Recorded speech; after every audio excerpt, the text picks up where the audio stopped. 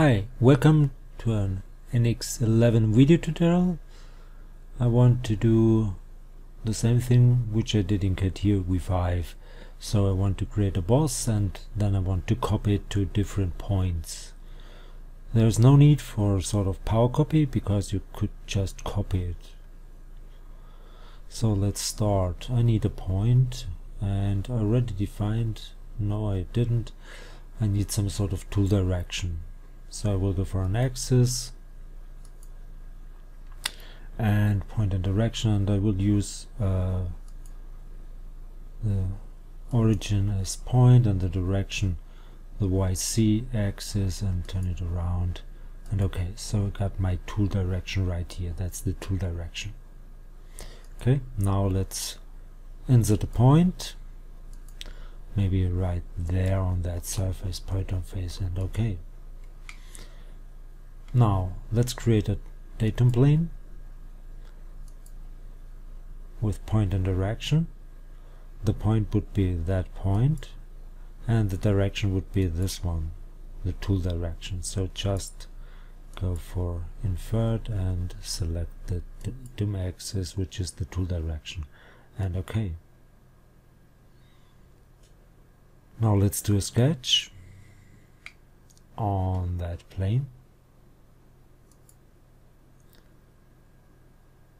Not like this but sorry go for the sketch and select the plane. And you might go for the style look. The plane would be this plane. And the point would be that point confirm. And okay. Now let's do a circle right there. Diameter maybe 16 finish that sketch. Now you could do extrude. Go for extrude with that sketch right here. Make it maybe 30 in that direction. And go for until selected and select the surface for the other direction and confirm. Now let's put these into a feature group that three elements make a feature group call that the boss master feature group okay confirm now let's add some more points. Maybe one here. Apply. And maybe one over there. Okay. Now I want to copy this feature group. So select it copy it. Control V for paste. And you need to select the point. The point would be this point, point 7.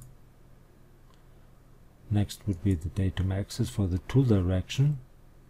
That would be this one, or just click it over here.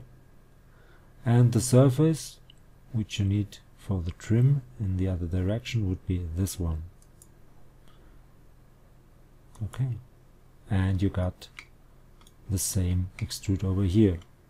And maybe another one go for control V for paste again. Select that point. Select the tool direction.